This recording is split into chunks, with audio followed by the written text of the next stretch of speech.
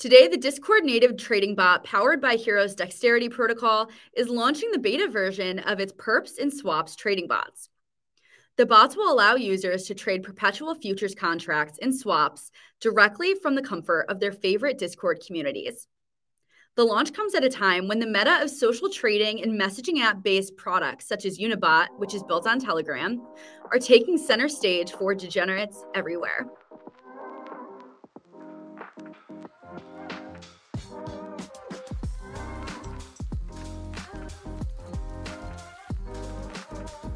GM, and welcome to the Network Effect, Hxro Nation's weekly one stop for the latest in macro headlines and Hxro Network news. Starting with a few of the biggest headlines this week. The U.S. Department of Justice announced its decision to withdraw the campaign finance charge against Sam Bankman Fried, founder and former CEO of FTX, effectively letting SBF off on a technicality of sorts.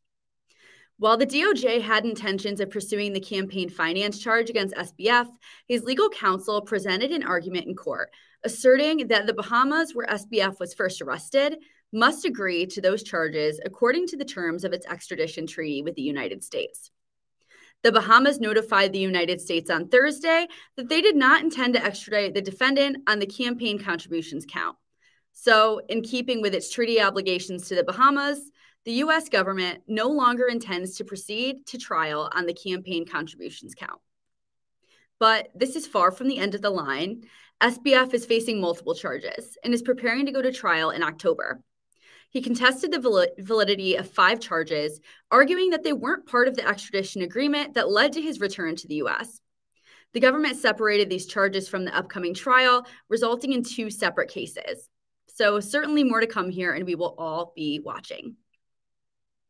The orb heard around the world. Sam Altman, chief executive of OpenAI, creator of ChatGPT, is at it once again. This time with the launch of WorldCoin, what many are calling a dystopian project. WorldCoin is a digital identification platform that aims to provide each person on Earth with a convenient way to verify that they are a real human and not a bot or an AI algorithm. This is accomplished by getting people to scan their irises using WorldCoin's signature orb, adding that data to a crypto database with millions of others, and awarding the participant 25 free WorldCoin tokens upon completion, which are currently valued at around $2 each. WorldCoin is being touted as an attempt at global scale alignment.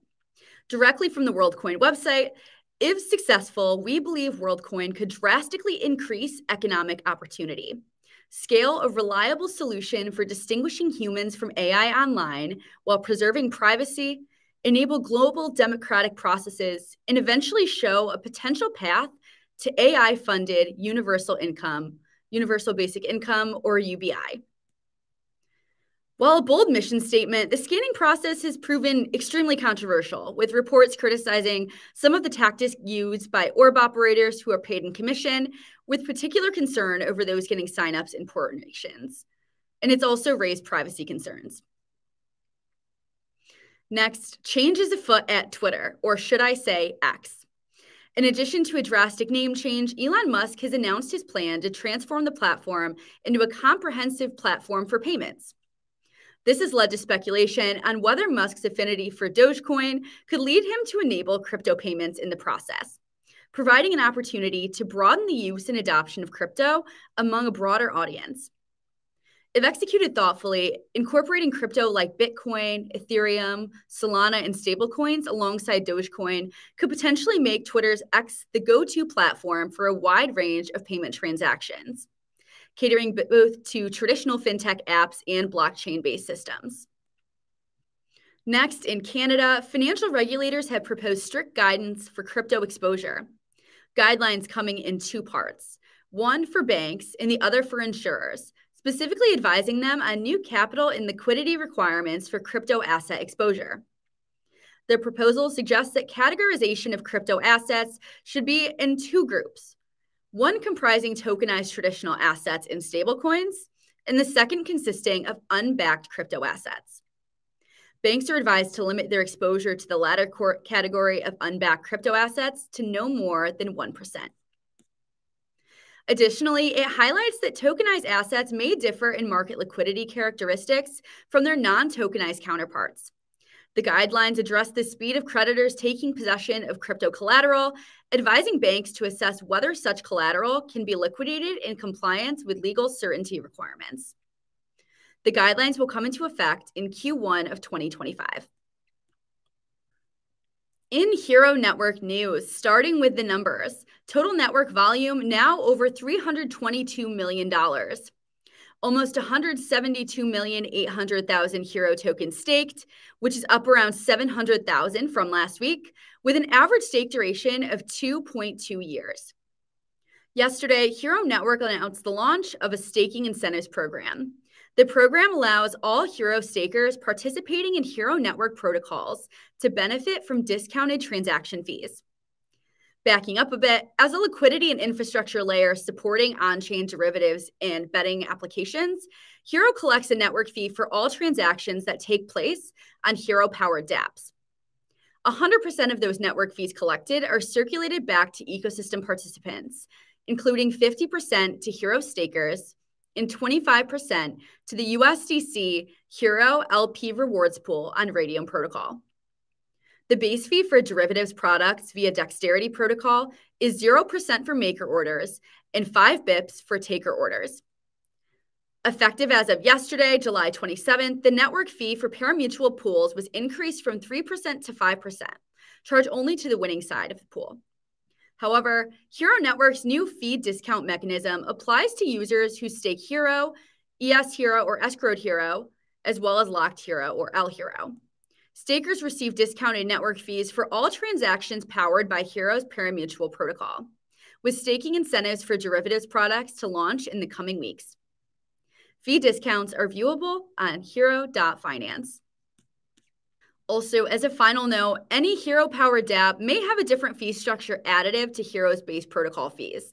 So be sure to read dApp specific documentation for details on additional fees you may be subject to. On to ecosystem news, starting with YOLO NOLO. Today, the Discord native trading bot powered by Hxro's Dexterity Protocol is launching the beta version of its perps and swaps trading bots. The bots will allow users to trade perpetual futures contracts and swaps directly from the comfort of their favorite Discord communities. The launch comes at a time when the meta of social trading and messaging app based products, such as Unibot, which is built on Telegram, are taking center stage for degenerates everywhere. YOLO NOLO is adding its own twist to the narrative with a focus on perps and bringing its bot to Discord first, with plans to expand to Telegram and even Skype listed in its future roadmap. Those interested in following along as the beta progresses can join the YOLO NOLO community Discord for the latest updates. Next, a new Hxro ecosystem dApp announcement introducing SpedX protocol, a DEX with superpowers. SpedX is a hybrid X of a CLOB or central limit order book and an AMM or automated market maker that will be using Hxro Network for CLOB infrastructure and liquidity. The AMM will compose with order book to provide backstop liquidity via Liquidity Provision Vault. The SpedX waitlist is now live for those interested, with the DEX slated to launch in August of 2023. Next, Flowmatic. Yesterday, the Hxro powered trading terminal and DEX hybrid announced that its API is now in open beta. As mentioned previously, this component is already being used by other projects building to Hxro Network and will be a low barrier way for automated traders to easily connect and trade into Hxro Network order books. The Flowmatic team will also be releasing advanced order types like TWAPs and Auto TP soon, as well as further iteration on the API while they revamp the Flowmatic terminal.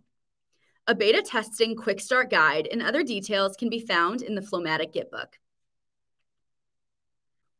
Lastly, in Hxro Nation content, on the Hxro Network blog, a walk through memory lane, the evolution of Hxro Network.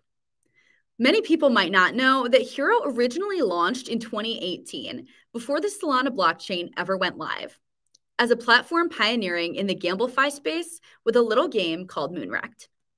Learn more about how that platform evolved into the decentralized liquidity layer we all know today by reading the full article. Next, from our friends at Blockmates, a few Hxro ecosystem features. First, Moats and Hose, a deep dive on why protocols are building on Hxro Network. And second, an article titled Investigating the Trading Bot Explosion, a timely piece featuring none other than Hxro powered YOLO Nolo alongside Unibot and others. Hopping over to the Hxro Labs YouTube channel, an introduction to PepperDex, a spicy new Hxro powered derivatives trading platform coming soon. Random Task walked through the PepperDex docs to dive into Pepper tokenomics, how the DEX will interact with the Hxro ecosystem, and more. Last, a demo of Open Hxro. Learn how to navigate and place trades using the Open Hxro interface. The open source UI reference implementation of Hxro's Dexterity protocol allows users to trade perpetual futures in a single click with its unique ladder style interface.